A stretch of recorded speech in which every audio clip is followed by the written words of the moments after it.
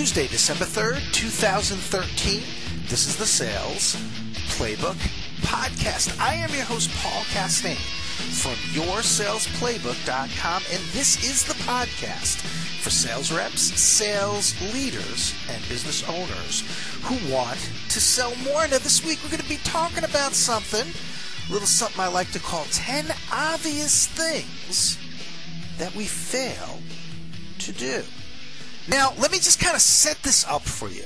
I mean, when I say 10 obvious things, I don't mean just like 10 things that like you're tripping over. It's right there in front of you. It's obvious, right? That like, like, there it is. I mean things that not only are so obvious, but like we love to tell the world, hey, that's sales 101. That's obvious. Like, duh.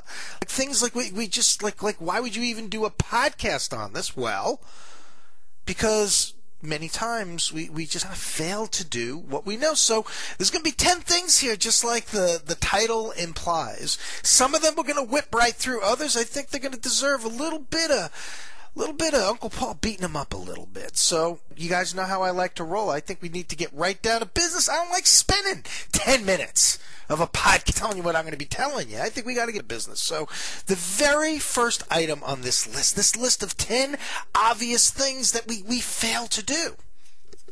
The very first one is asking for referrals. Now, I mean, I'm, like like this would be the first time you ever heard that one, right? We should be asking for referrals. Well, you know, it's funny because many times in my coaching practice, when, when I first take on a client, especially, we're sitting there, we're kind of analyzing what they're doing, what they're not doing, what could be done better. You know, you know the deal, right? And I'll ask the question, are you asking for referrals? And so many people who just blow you away how many people are just not asked for referrals. And we could go on and on as to why people aren't asking for referrals and, and, I'll give you just a couple of quick reasons. I mean, I well actually I'll just give you one reason that I think it just falls under. I think we're waiting for some some mega grand biblical event to occur that like entitles us to the right to ask for a referral. And I think that could be a big part of the mistake here. And I also think a lot of people don't know how really to ask for a referral. So you kind of like maybe maybe we could put it under the category one part of it, like awkward for some people and, and maybe not feeling like they've they've done enough to warrant uh, the right to ask for a referral and then just simply not knowing how. So uh, I'm going to give you one bit of advice something like just start asking for referrals, right? And stop waiting for this grand biblical event for the heavens to open up and say, you may now ask for a referral. You know, one cool thing that you can do is um, ask for a referral the way that you would. Again, I don't want to give you a script, but I do want to give you one bit of advice that serve that serves me very, very well, and it, it served my clients uh, very, very well. Is you have to help people with categories of people to think about when they're kind of like running through their brain of people they may know who could use your. So what you want to do is again ask for the referral in the way that you would, but then what you want to do is give the other party three groups of people to think about. Now, again, there's a lot, a lot of like ideas running around their brain. Lots of people that they come in contact in business. What we're doing now is we're trying to organize their thinking into groups because that's how we categorize things in the brain. So what you want to do is give them kind of three groups of people to think about to kind of jog their memory, right? To kind of cue the memory that they can kind of rattle off a few things. And plus, by the way, when you're asking for three, uh, you have a higher probability of getting more than one. So that's something right there. You don't want to just ask for one. You want to ask for it three groups of people. So what you're going to do is ask for the referral the way you would. And let's just say maybe I'm talking to John and I ask him for a referral. What I'm going to do then at the end of it, I'm going to say, perhaps you might know of someone that might be someone in your, your LinkedIn network. Someone, maybe a vendor or vendors that you're doing business with that could use my services, maybe a golfing buddy. So things like that, especially if you know the golf, it's very, very helpful. But think of three groups of people and help them to process and to kind of run a search in their brain by offering those three groups of people. So that's the first one. The second thing I think is like almost joined at the hip with referrals. And the second thing I believe that we fail to ask for are testimonials, particularly asking for them before we need them. Many people wait until they absolutely need the referral. They, they uh, referral. I'm sorry, the testimonials. Um, I, I think a few things that you might want to think about when you have someone that is loving what you're doing for them and especially you just just kind of bailed them out of something you did that proverbial 11th hour miracle and they're thanking you and telling you you rock and made them look like a rock star that would be an awesome time to ask for a testimonial and what what I do and again, this is my approach. You guys know I like to use humor, especially when something is awkward for you. Consider using humor and kind of, you know, even in some cases, if you can put yourself as kind of, you know, the butt of the joke, or um, in, in, in other cases, just being extremely humble, almost in a funny type of way, it could really help ease the awkwardness of the situation and just make it more uh, actionable.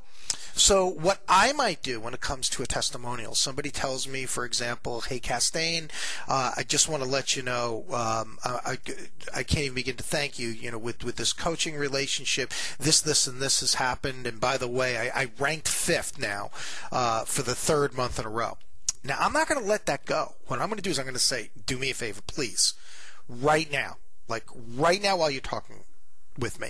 Grab your smartphone or jump on your computer if that's easier. Email me what you just said to me. Just it could just be two sentences. And here's why. And I'm actually saying this to them. And here's why because I want to get more cool clients like you. I need more awesome people like you. I and you can fill in the blank. I need more people that are going to be like loving what I'm doing and appreciate the services that we bring to the party. But right there in that moment, you want to do that. And what you want to do is again because you know how the world is right now. Everybody's kind of in this ADD thing, man. It's the next bright shiny object. We're chasing it, and in that moment, guess what? You're the bright shiny object. So why don't you just leverage the moment? Start leveraging these moments when somebody tells you that you pulled through with this 11th hour miracle and they say something really cool to you, say, hey, stop what you're doing right now. Could you please just email me what you just said? And boom, you have that testimonial. Now, these testimonials, I mean, I, I think I'm going to have to do a podcast just on these because they're very, very important to you as a sales professional. And you should know that by now. I mean, first of all, you kind of build these up before you need them. It's a very good time than rather than being uh, under the gun. And what I recommend that you do is just there's a lot of different ways you can use them. I mean, I use them. I have them all over my website, by the way, on various pages. On the Hire Paul page, I have it on the Sales School program page, different products and services that I have, my sales training page. I mean, I have them all over the place. It's very, very important that if you're able to put it on a website, but you might be thinking, but Paul, I work for another company. How can I possibly, you know, put that uh, on on a website. Well, another thing you could do if you have a LinkedIn profile, maybe you could put a few like testimonials and just put the quote up there in kind of the summary. That's that that's right there on your LinkedIn profile. That's another place for it. Hey, you know what? Why even stop there? I mean, we don't have to just put it on a website or put it up on our LinkedIn page. Um, obviously, if you're a job hunter, I mean, you know, if you're looking for an opportunity right now. A resume could be a, a, good place for it. But here's the other thing that you can do. I mean, if you use proposals as part of uh, your presentation, where you would generate a proposal and have everything kind of you know documented out, what you're going to be doing and costs and price and all that kind of fun stuff. Could you have a page there that kind of put some testimonials right there front and center. I do it in mine, by the way.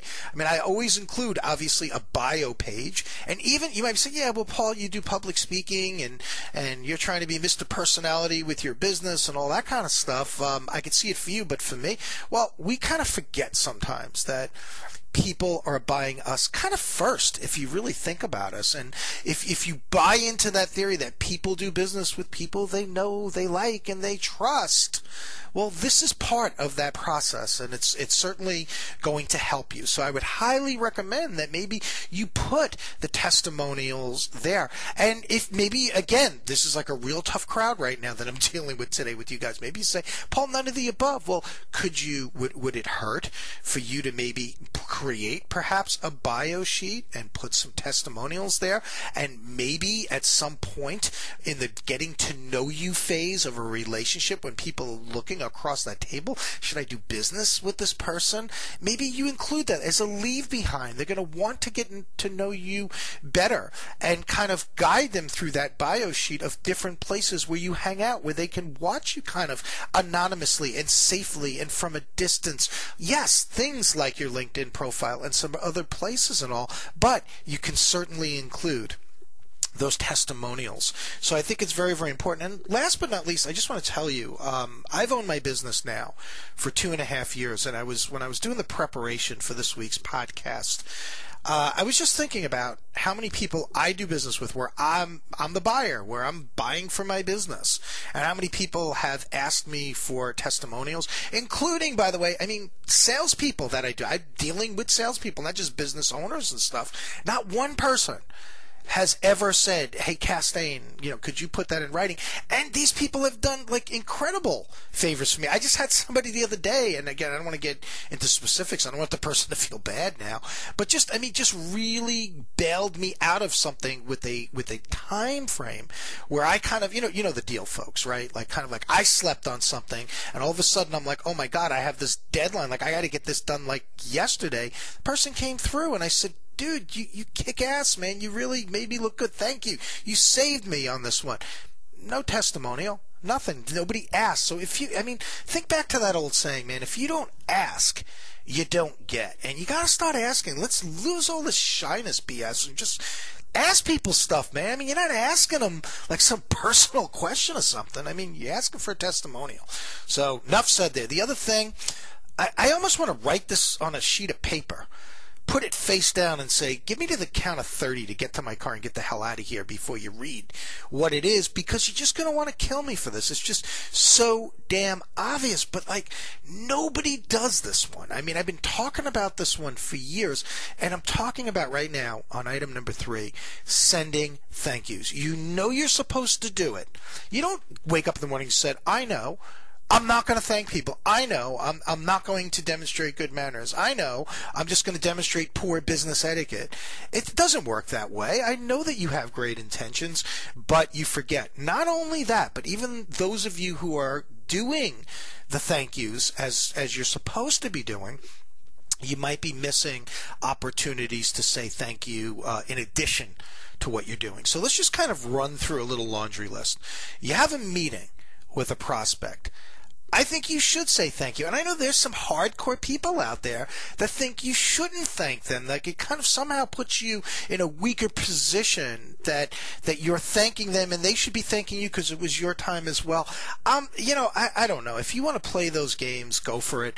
Um, I can tell you that for 30 years I've been thanking people, and I, I really, I, I, I cannot think of a single instance, and God knows how many meetings in 30 years, where this put me now in a weaker position with someone else. I mean, we got to grow the hell up with that. I mean, if, if you really think thanking somebody and demonstrating proper manners puts you in a weaker position, man, I think you need to uh, have a little soul searching time. Go get a drink or something and think that one through because uh, uh, far be it for me to tell you you're wrong. But I'm going to tell you on this one, you're wrong, and you got to grow up, and you got to lose that ego BS that, that that you're experiencing, and you need to start thanking people. A little humility goes a long, long way. Now, how about a helpful assistant. And this could be someone that helped you with, with a client that you already have, maybe gets you on their schedule, maybe has helped you through something in their absence. It could also be, and I think this, this, the second part of this is where many people miss an opportunity. Many times we call these people, the assistant, the gatekeeper, because they kind of stop us at the gate and they don't let us in. If you get an assistant, right? And probably first of all, we should stop calling them gatekeepers. That that might be our first mistake, by the way. But uh, when we when we have these helpful assistants that again they were helpful they they talked us through something they gave us some information maybe that we know that they they are truly going to pass something along or whatever how about thanking them and here's uh, here's why aside from it just being like the proper thing to do i can tell you that counting your thank you they they they will have received exactly one in their lifetime because nobody thanks these people. They're too busy calling them gatekeepers. So that's something you might want to think about. I think also we miss an opportunity to thank our clients, not just for the order. And by the way, if you're not thanking them for their orders and for their business and all that, uh, I think you're missing uh, an opportunity. Um, and just just a quick side note. I mean a lot of my billing that I do with my coaching practice and all, um, I I put a little note in there where I call my contact by name, right? Not somebody else's name. That'd just be kind of weird. Calling Nancy John and John Nancy, man, John might kick your ass for calling him Nancy. You don't know, man. He might be sensitive to that type of thing. Another John might dig it. I don't know. But seriously, I'll put a little line in there where I call them by name and I thank them for their business. And, um, you know, maybe I'll put something in there, um, even acknowledging how, long. I mean, I have clients that go all the way back to, to 2011 when I first started Castain Training Systems. I'll say, thank you for being my client since 2011. And I try to just break it up each month and try to change it up a little bit and do a different message. It helps with my creativity, by the way, just being able to change up that and expressing that gratitude. But really, the, the other point that I wanted to make is just consider when it comes to your clients, thanking them not just for an order. It's e- it's easier certainly to thank someone after they just uh, gave you a check. Thank them just because. Thank thank them for being your client in general.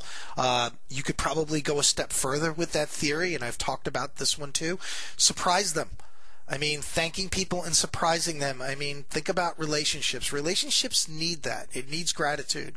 It needs appreciation, and it needs surprises, things to keep it kind of interesting. Which uh, kind of a, a, a just a a side subject altogether. Hey, don't forget about the people who work behind the scenes uh, in um, in your company to help you look like a, a rock star, the production people, uh, maybe your customer service person, and so on and so forth. Person I've mentioned many many times. Uh, in uh, both my blog and on this podcast is a gentleman by the name of Fant Smith, and he was famous when he worked for a company um, called Courier Printing a few years ago just kind of randomly giving out Starbucks, you know, five, ten dollar gift cards to people who are helping him behind the scenes. And I think it's very, very important that we remember these people. Plus, I also think it's pretty a, smart business move. Uh, sometimes uh, these folks have choices, and it might come down to you and someone else. And if you're the one showing appreciation, you're the one who's always kind of taking care of them. Uh, I think I, I really believe in in the fact that they're going to want to take care of you back.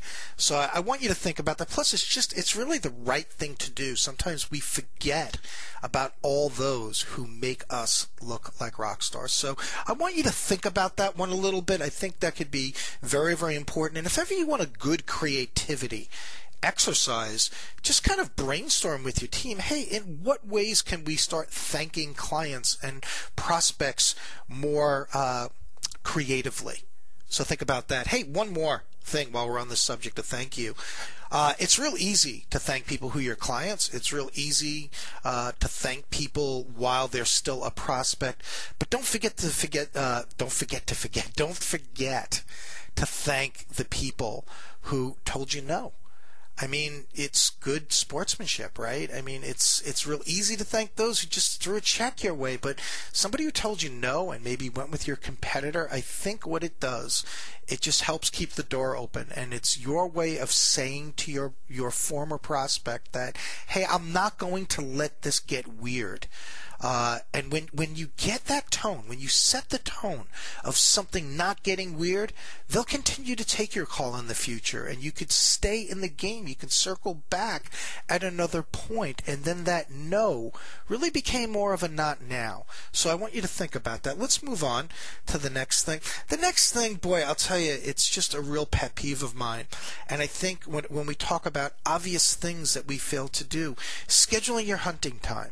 Where we actually schedule the hunting time. What happens so many times in sales is that hunting is the activity we do after we've done everything else, including administrative stuff and internal meetings and stuff and things that when you really look at them, they're not really what you would call money activities. My definition of money activities, I have three, I call it the three gold rocks, by the way. And they are hunting for business, taking care of that business and creating wow moments and, and providing superior customer service. And of course, growing the business and kind of introducing new products and services or uh, maybe targeting another location of that business that's buying from you right now. Those are the three things we should be focusing on. But uh, when it comes to like going after new business. We we're not very very good at actually getting it on the schedule. We we talk more. If you listen to most salespeople, it's like, yeah, I really need I really need to get some time aside for that, or I'm gonna try this week or whatever. But very non-committal. And I think we need to treat it like an appointment that you would set with a client or a potential client. And I always talk about the phrase that you all should embrace. And the phrase is this respect yourself. And what I mean by that, if you set an appointment with a prospect or a client, you would not just, just for the heck of it, cancel it. You wouldn't. And, and there's a lot of reasons why. Uh, one, I would think it's a little unprofessional, right? And it, it's very disrespect. It's highly disrespectful to just cancel an appointment just for the hell of it. But here's where the whole like it just gets weird when you think about it. We're willing to give up all this respect for other people, for strangers in many cases, and keep that appointment. But how about the one that we make to ourselves? And that's not right. I mean, we have to respect ourselves. We deserve at least the same amount of respect that we're giving everyone else. I think it needs to work that way. Sorry if that's uh, against the grain there, but you got to do it. So my suggestion there is schedule the hunting time. It's got to go on the calendar, and once it's on there, you don't let other things break it unless the building is burning down. And when I say like, you don't let anything get in the way of it. I mean, I'm even a nut about this stuff. When I teach time management, I tell everyone that I'm working with. And by the way, this isn't just breaking your appointment. These are things that are going to pull you away from the, the appointment. Like, like how about like emails, checking emails when you're making outbound calls? Don't do it. Why? Because I'm going to tell you something about your brain. I'm going to tell you something about you. Right? You ready? You want to talk about obvious things that you want to say duh to? Wait to hear this one. You would much rather do that email than get your ass kicked on the phone, right? But most people aren't conscious of that fact because the brain is geared in this whole fight or flight thing to move you away from things. You ready for this? This is what makes me a rocket scientist. Move you away from things that are painful. And many times it just takes over in a subconscious, unconscious type of way. And you don't even realize it because it's just wired to do that. So you're going to want to hang out more in the email and even inbound calls, coworkers. How about pop-ups for those of you who are on uh, either social networking or certainly with like pop-ups from like Outlook or Gmail and things like that. So I, I just want to tell you that when you set these appointments with yourself, to do the hunting, you have to respect yourself, no interruptions, don't allow anything to break that appointment unless it is a true emergency. Final point. These emergencies are going to happen. It's just it's just depending on your business, it's going to happen. But first of all, I'm here to tell you, man, it, it, probably doesn't happen as much as you'd like to justify and say it happens. So that might be your ego kicking in because you're really scared of of possibly, God forbid, getting your ass kicked. Somebody doesn't like want to buy from you, boohoo, right? So that that could be happening right there. Um, but I'm also here to tell you that occasionally there is going to be a real genuine emergency where you're going to have to kind of break that appointment. And in those cases, well, then we have to be adults about it and we have to be grown ups and we need to just reschedule that activity. But we got to get in the bank. We can't just let it. Well, I got a good reason it went away. Well, okay, yes, you do. But now, where are you going to make up for that? Because you need to make up for that. If you want to move ahead, you are going to get that back on the schedule somehow. Enough about that one too. Next. And, and I'm in no particular order here, folks. We might as well just call these 10 random thoughts.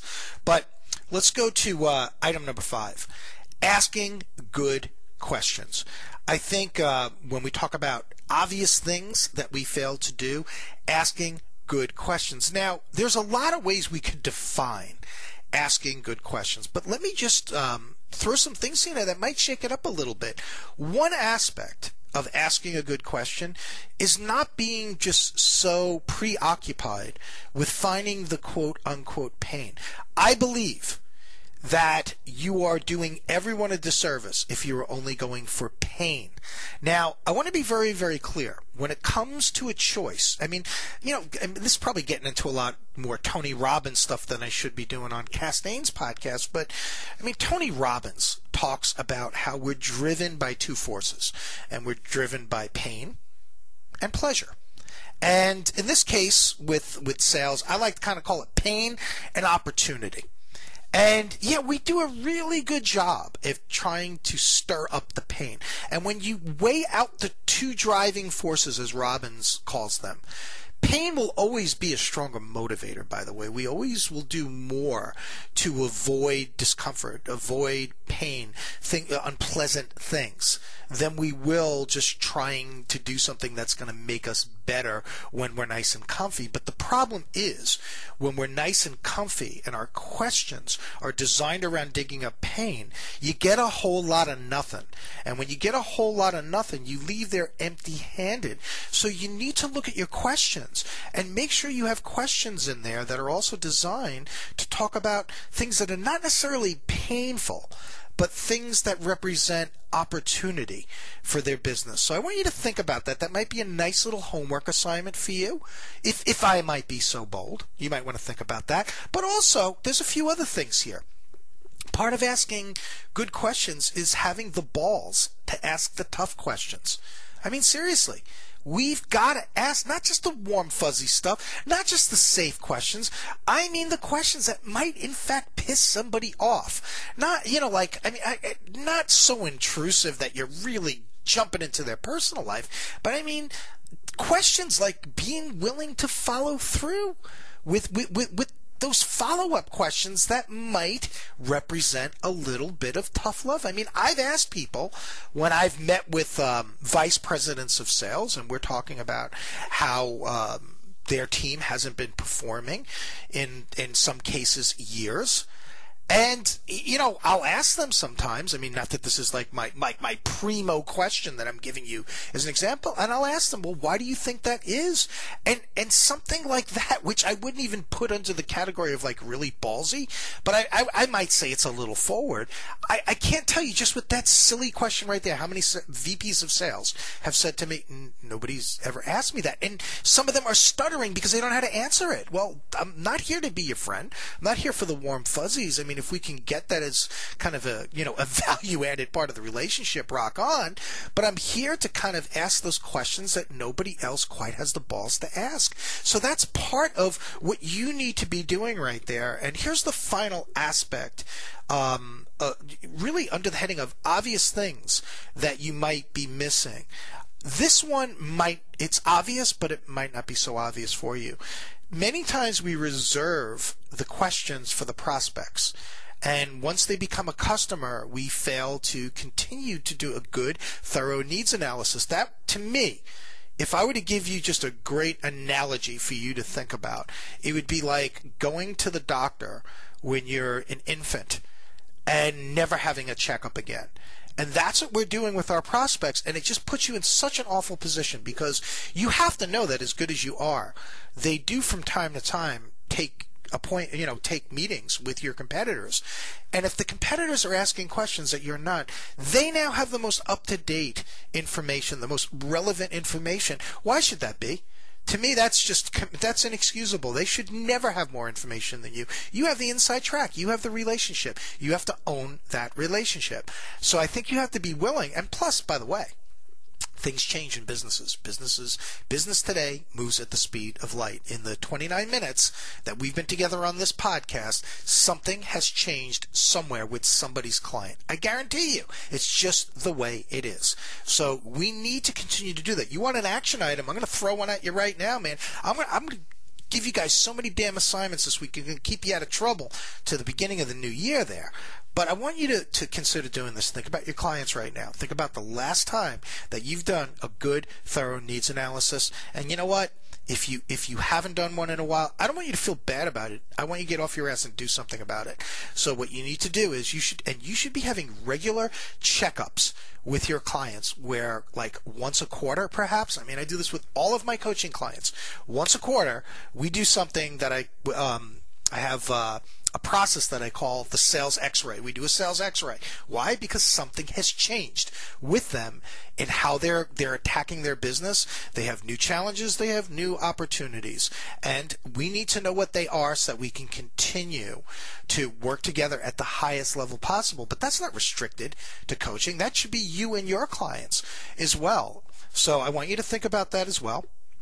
Let's move on to item number 6 you know, you you one of the things that might be very obvious to you, but you might not be uh, following through on it, is having a good, solid keep in touch campaign, a good communication map, as we've been talking a lot on this on this podcast lately.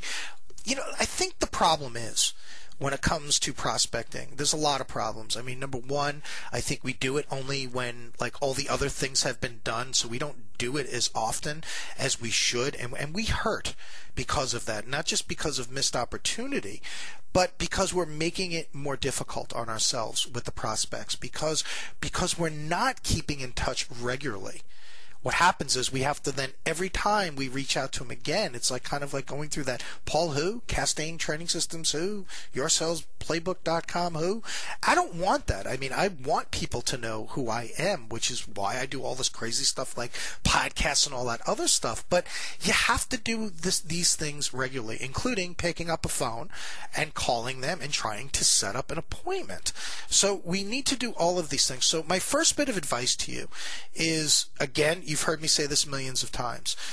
I, don't just rely on the phone, please. We we've got to move beyond that. I think that there's so much more beyond phone calls that we could be utilizing as sales professionals. I mean, this isn't like 1960 here, gang.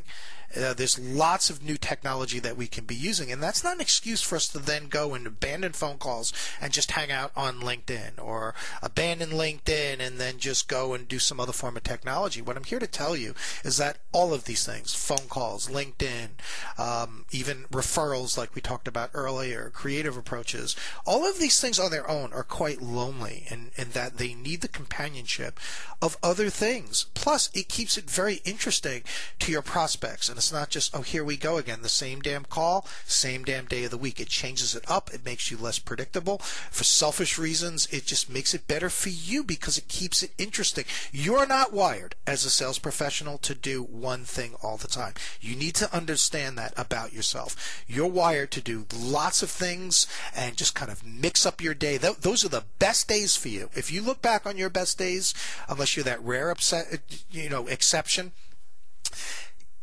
usually it's going to be a day that's just filled with many different activities. So you want to you you want to do those things for all of the above reasons. But what I want you to do is really a few things. Another assignment to keep you out of trouble. I want you to think about everything that you could have in your arsenal. And everything from phone calls, email, snail mail, and within each category that you come up with, think about little sub ideas underneath it. So, like, let's just say we talk about snail mail. Well, through snail mail. You could have just a real straight up introductory letter, right? You could use cards. You could do something creative. Um, kind of under the snail mail thing, I would say FedExing something. You could also do drop ins if that's appropriate. If geographically you could stop by and drop something off in the process. Um, you can combine things on the list, right? So that's what you need to do. Think about this arsenal. Just think about this complete arsenal of things that you can do. Then what you need to do after that is kind of map the communication and choose a weapon. So, and, and the way we map the communication is through a series of kind of like if then statements.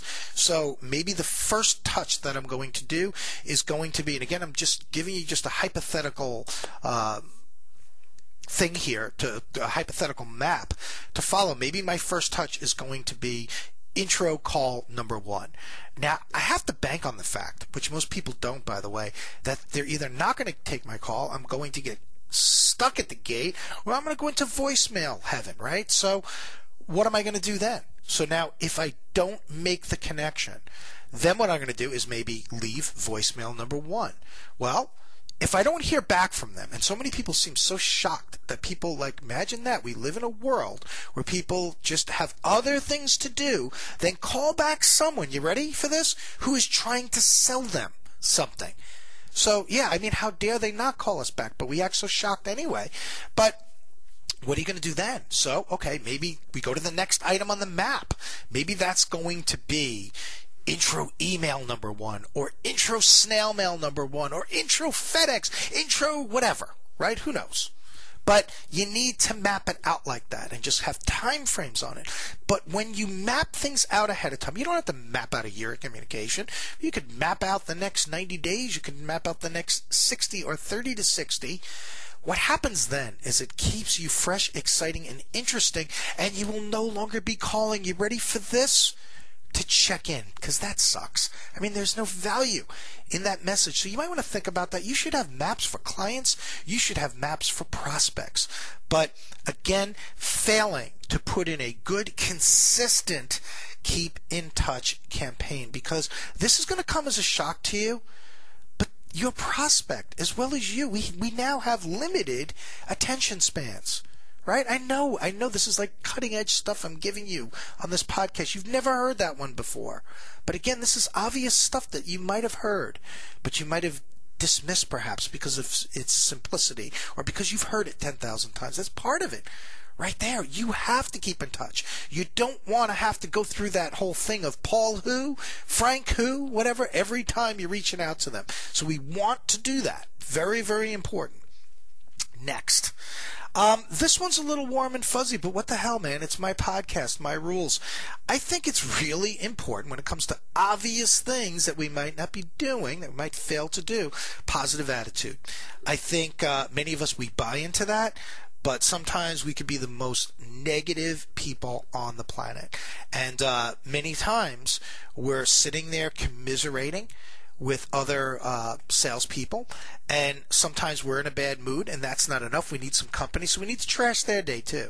And I think that is something that we need to be uh, conscious of. I think very, very important, but also too, just just more importantly, I think it's very important that you intentionally start your day on the right note. And this is a lesson that I learned the hard way for many, many years. Uh, and I haven't talked about this in a while, but uh, back in the day, I used to kind of start the day off by just watching the news. And then I realized, man, just how negative the news is. And when you think about it, they get paid on that negativity. They get paid on just all kinds of disaster and everything else because it sells. It sells. People get glued to their set. You don't get paid on that, by the way. So you need to think about that and how that can foul your mood. And to me, I look at it like this. We have body armor as sales professionals. Why in the hell would you start your day by being stripped of your body armor by just just indulging in negativity? So, as far as the news goes, I mean, we can't live in a bubble. we have to keep apprised of all the things that are going on in the world. So the way I choose to take my news is just right on the homepage, right, right on Yahoo whatever. I could just go on there and I could scan and I could I could deal with the news on my terms instead of, I mean, think about the news. I mean, seriously, within a five minute period, you're going to hear about seven people who've been murdered, about one company, you know, one country that's pissed off at another country might be marching in to kick somebody's ass. And we can go on and on and on about how this thing is on the verge of bankruptcy, and about this thing with the president, and about this thing with the Republicans and the Democrats, and we can go on and on and on. And I'm just getting pissed off just even thinking about it. That's how bad it is. So you might want to think about. Um, how you start your day. Something else about how you start your day that I started doing a few years ago, and you know what I'm about to tell you is is over the top, warm and fuzzy. I'm going to warn you. But I also want to tell you something else that I told you, and this is just really cool. Do you know that here in the United States, the IRS does not allow a deduction for warm and fuzzy? They still count it as revenue. So if you bring in business, because what I'm about to tell you, because it was warm and fuzzy, the IRS will not tell you, I'm sorry, that is just way too wimpy too wimpy there. I mean, come on, dude. You know, not man enough. That's just too wimpy what you did. Well, you know, they, they're going to tax you on it. It counts. So who gives a damn what you got to do to get yourself in that zone so long as it's between ethical and legal, right? You got to keep that in mind.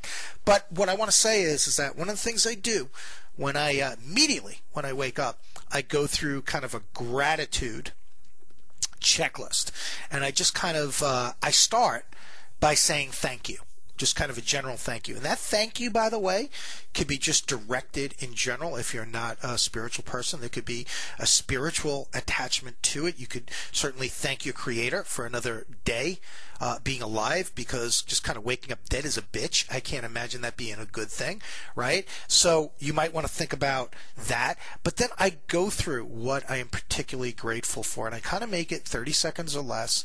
And you know, there, there's just regular things that I, I just want to make sure that I'm thanking someone for. And just the act of hearing myself say thank you and just kind of going through this, it puts me, when you think about things you're grateful for, it puts you in a much better mood. And we're not saying you have to spend a half an hour here. The first minute of your day. And um, I just think it's a good thing. And I remember hearing something uh, a while ago, and I had, I had done a blog post on this. Um, as your two feet hit the ground from the bed, right? When those two feet hit the floor, um, start by saying thank you. And I think it would really change the way uh, you, you, think about things. Uh, last but not least, on this positive attitude thing, you got to be ready to identify you're just kind of be able to flag those moments when you become particularly negative throughout the day. I really believe that many of us we run kind of like a pattern. Certain things happen, we go into this kind of pissy mode and we start getting very very negative. Maybe maybe it gets triggered when somebody's kind of jerking you around when they were supposed to come through with the order and they haven't. Maybe when they go MIA on you and they're not getting back to you, whatever it is. And then you start reacting a certain way and then you start next thing you know people are saying hello to you wrong and you come home and you kick the dog. You know you know the deal. So you have to know what you look like in those moments and what you sound like what triggers it, and and interrupt that pattern. So when when these things happen, you have something else that immediately takes your mind off it. And one of the best ways to do that is to ask yourself a question about something maybe that excites you. Like, well, what am I really excited about? Okay, that that particular thing sucks. But what are some really cool things that are going on right now? What are some opportunities that I am very, very happy about right now that are not frustrating me?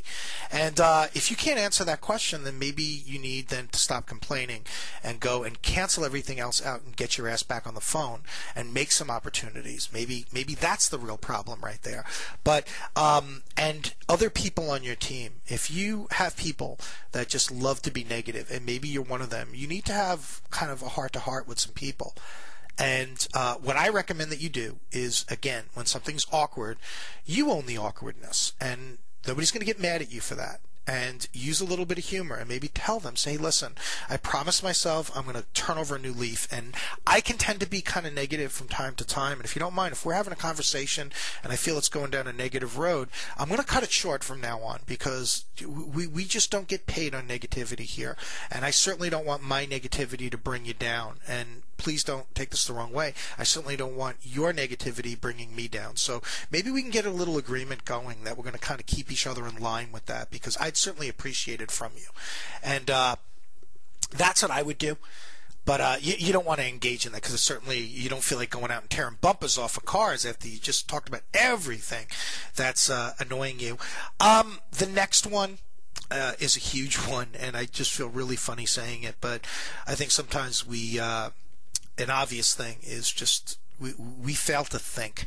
And many times again, when I first take on a coaching client and we're talking about time management, because that's one of the, the first things we talk about because I could teach you lots of cool things. But if you don't have the time to do it, I mean, what good is it, right? So we have to talk about how we can liberate enough time in your day to do these new things I'm telling you to do. And many times people will tell me, you know what, Paul, it's just I don't even have time to think. And uh, my response is perhaps that's the problem. Um, and again, I don't say as some pompous, I know it all type of dude. I say it as a guy who uh, maybe in some cases might know a little bit more than you do, but I don't know them know a little bit more than you do in some areas for the right reasons. I, I know it because I've fallen and I've made some really bad mistakes along the line. So um, I think, but our problem, I really do believe that our, our problem is that we're not taking the time to think. We're always in response mode. We're always in reaction mode. We're always saying how busy we are. And if we could just take that time to just quiet the mind a little bit and we can kind of, I, I look at it almost like a conveyor belt with all these thoughts. And you've heard me say this before, depending on who you want to believe, there's 60 to 90,000 thoughts each day running through your mind. So it's on this conveyor belt and it becomes almost like that scene, I Love Lucy and what was it, the, the chocolate chocolate factory, right? All these things start going over the side. She's trying to stuff them in her mouth and her shirt. And they just start piling all over the place. We just don't, we have to slow down that conveyor belt and corral those thoughts and start thinking a little bit more about our life and thinking about the things that are scaring us, the things that we're avoiding. We need to be thinking about the things that we want to do and think about where we are versus where we had hoped to be at this point of our life. Not to make it a negative thing and sit there and cry in our journal, but to now just face reality and say, well, what am I going to do to change that? Um, because I can tell you, not thinking about it is not helping. You can't sweep stuff under the carpet like that. You got to deal with it. And again, that's spoken to you. Uh, that that's given to you from someone who didn't deal for a long time. So I want you to take that one for what it's worth as well. But uh, very important be thinking about your business and how you could do things better, thinking about clients, thinking about those upcoming appointments and look at them rather kind of like. Um, uh, suspiciously. In other words, like, you know, there's, I'm missing something here. What is it? What am I missing? I mean, there's got to be something else I should be thinking about or doing in preparation for this meeting. Things like that are very, very important, but you really have to start dedicating more time to think. And I will promise you that if you can make it a daily habit, it's like going to the gym and working out. When you first go, certain muscles are weak and then you start going and you're working the muscle more and more and more and you're going to get better. Now you're exercising your thinking muscles which is going to help you with creative ideas for clients and to get in the door with prospects and so on and so forth. Really important that you do that. Let's move on to item number nine. Uh, this is a really tough one for salespeople. You know you should be doing this, but your ego will stop you almost every time. Ask someone how they, they did something. Ask someone how they got a result. If you work with someone and they broke into a particular vertical, ask them how did you do it. If you work with someone or know of someone who, who just month after month just kicks butt, ask them how they're kicking butt. If you know someone who just went through a tough negotiation and they came out on top, ask them how they did it. But we should be modeling other people. But the thing that keeps us from doing this, more often than not, is our ego. It's kind of protecting us from being vulnerable. Start becoming more vulnerable. Uh, that might be something that you might want to put on your list of things that you need to embrace. Become more vulnerable um, and ask people for help. Ask people how they did something, and it would just blow your mind how many people, including complete strangers, are willing to share something with you. But again, you know, just you want to do it like you want to be careful with it because you don't want to just be a complete taker. Hopefully you're a giver also, but you, you, you certainly can ask people how they were able to achieve a result or how they do something. Model successful people. And then that brings us to the final thing. And this right here, um, we could do a whole podcast on this. And one of the obvious things that we've heard a million, gazillion, trillion, zillion, billion, whatever times we fail to execute. We, we have lots of ideas, we have lots of hopes and dreams. And especially this time of year, you're coming into the time of year where many people are going to set New Year's resolutions and set goals and things like that.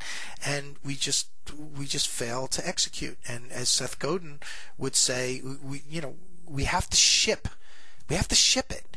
And a lot of us are just not too good at that. So, one, I mean, like I said, there's a lot we can talk about here, but one thing from now is, again, I'm going back into my coaching practice here. One kind of Paulism, and that's just something that, like, Paul says over and over and over again to the point of exhaustion, is that you don't, we're not serious about something until we get it on a calendar. Just like we talked about with that prospecting before. You're not serious about something until it gets on the calendar and scheduled like you would an appointment, and then you keep it. So if you have things that you want to do, if you have ideas you want to try, do me a favor right now read off every one of those things to yourself or you know just nice and silently and say amen after every one of them because right now what you're looking at are several prayers you're not serious about it until it gets a date attached to it yeah it kind of sounds like that whole smart goal uh, setting thing or whatever it is but whatever the hell you want to call it it really doesn't matter right but what's really important is that you do it. And uh, one of the things I say in just about every webinar that I do, certainly in the sales school program, at the end of every session, I tell people to flag just one thing that they're going to do and take a moment right there while I'm on the phone with them to just schedule it on the smartphone because it's you're not serious about it until you do it. So maybe that's one of the things you might want to start doing today. Work those muscles. Today I'm hoping that there was at least one good gold nugget here that you're going to leave with. And you might say that makes sense. I could I see the value in what Paul's saying. If that's the case, you need to pause this. You need to pull out that smartphone because it's not just for little Angry Bird games and and texting and and Snapchat and all that kind of fun stuff. It's also like free ass kicking right there for you. Free ass kicking. Like we shouldn't charge for ass kicking anyway, but this is free.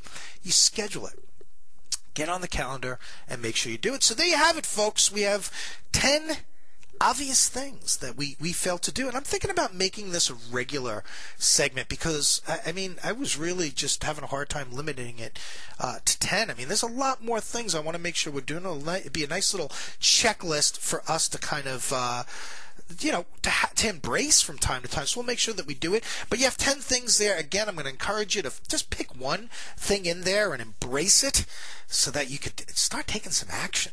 It's not going to hurt. And before you go, just want to make sure that I remind you that uh, we have, and it may seem like a long ways off, but we have uh, the upcoming sessions of our online sales school program, and it's going to be starting up in January, toward the end of January. So, yes, you still have some time to do it, but it's like anything else. Sometimes we fail to execute. So, if it's something that you're serious about, I would highly recommend that you circle back to the show notes today.